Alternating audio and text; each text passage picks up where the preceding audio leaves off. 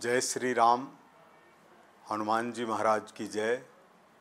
प्रभु की प्रेरणा से भारतीय संस्कृति की रक्षा और भारतीय संस्कृति को वैश्विक स्तर के ऊपर प्रचार प्रसार करने के लिए अमरनाथ जी महाराज के नेतृत्व में सौ करोड़ लोगों का संकल्प अभियान शुरू हुआ है।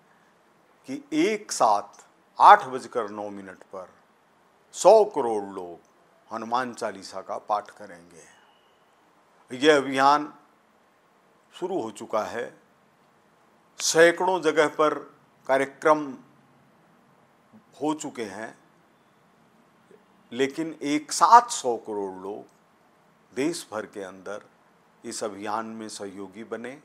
और अपने अपने घर पर रहकर, मंदिरों के अंदर, सड़कों के ऊपर, जहाँ यात्रा कर रहे हों, सही आठ बजकर नौ मिनट पर हनुमान चालीसा का पाठ करें।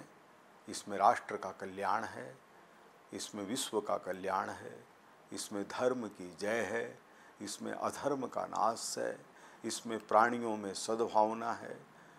और जैसा कि खुद गोस्वामी तुलसीदास जी ने कहा है कि जो सौ बार पाठ कर लेता है, वह किसी भी तरह के वंदी जीवन से भी मुक्त हो जाता है। जो किसी भी प्रकार के भय से ग्रस्त रहता है, वह हनुमान जी महाराज का नाम लेने से ही भूत पिशाच निकट नहीं आवे, महावीर जब नाम सुनावे। तो ऐसा अद्भुत हनुमान चालीसा। सौ करोड़ लोगों के मुँह से एक साथ हनुमान चालीसा निकलेगा तो सारा भारत पवित्र हो जाएगा। दुनिया भर के अंदर उसकी गूंज सुनाई देगी। हम सब इस कार्य के अंदर सहभागी बने और अपनी मनुष्य योनि को सार्थक करें। जय श्री राम, हनुमान जी।